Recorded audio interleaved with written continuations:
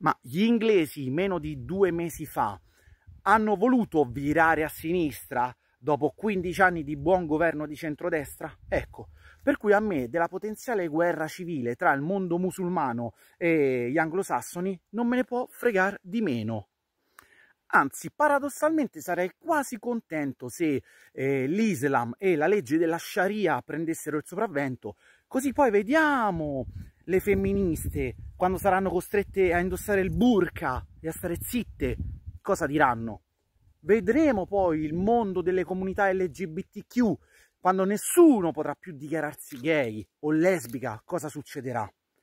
Perché vuoi o non vuoi, con tutti i difetti che ha il centrodestra, il centrodestra è l'unica forza politica che garantisce la libertà al 100%.